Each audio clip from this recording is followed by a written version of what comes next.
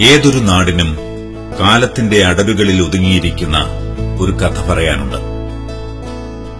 ആ ദേശത്തിനെ ഒന്നിപ്പിക്കുകയും ചരിത്രത്തിലേക്കും മനുഷ്യ സ്നേഹത്തിലേക്കും ബന്ധിപ്പിക്കുകയും ചെയ്യുന്ന ഒരു കണ്ണിയുടെ കഥ.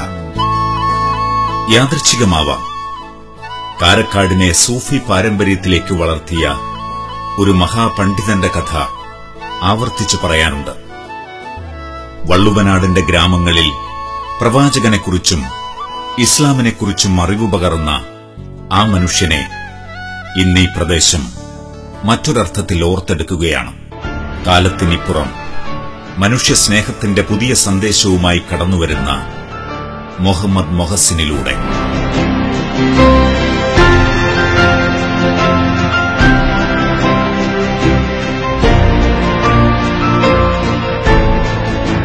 പാരമ്പര്യത്തിന്റെ പ്രകാശഭരിതമായ ഒരു പശ്ചാത്തലത്തെ ആധുനികമായ അറിവുമായി ബന്ധിപ്പിക്കുന്ന മുഹമ്മദ് മൊഹസിൻ ഒരു പുതിയ ലോകക്രമം പടർന്നു പിടിക്കുന്ന ആയിരത്തി തൊള്ളായിരത്തി എൺപത്തിയാറിലാണ് മൊഹസിന്റെ ജനനം.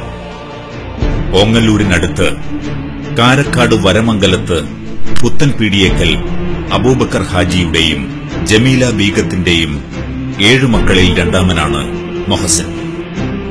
Karakkad A M U P സ്കൂളിൽ പ്രാഥമിക വിദ്യാഭ്യാസം പൂർത്തിയാക്കി. വാടാനംകുറിശി ഹയർ സെക്കൻഡറി സ്കൂളിൽ പഠിച്ചുകൊണ്ടിരിക്കെ പഠനം ഉപേക്ഷിച്ചു. തുടർന്ന് പല രൂപത്തിൽ വിദ്യാഭ്യാസത്തിലേക്ക് തിരിച്ചുവന്ന മൊഹസിൻ വാടാനംകുറിശി ഹയർ സെക്കൻഡറി സ്കൂളിൽ വന്ന ശേഷം സെക്കൻഡറി വിദ്യാഭ്യാസം പൂർത്തിയാക്കി. കാലിക്കറ്റ് സർവകലാശാലയിൽ നിന്ന് ഇലക്ട്രോണിക്സിൽ ബിരുദവും അമൃത വിശ്വവിദ്യാപീഠത്തിൽ നിന്ന് സാമൂഹ്യ പ്രവർത്തനത്തിൽ ബിരുദാനന്തര ബിരുദവും കരസ്ഥമാക്കിയ ശേഷം മദ്രാസ് സർവകലാശാലയിലാണ് എം ഫിൽ പഠനം പൂർത്തിയാക്കിയത്.